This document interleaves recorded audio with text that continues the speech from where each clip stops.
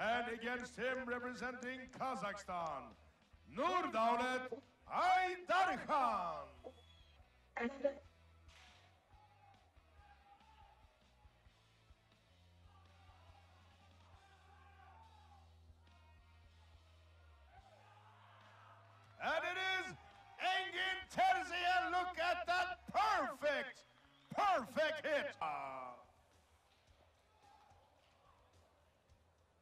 Warning for Gabrava not straightening his wrist.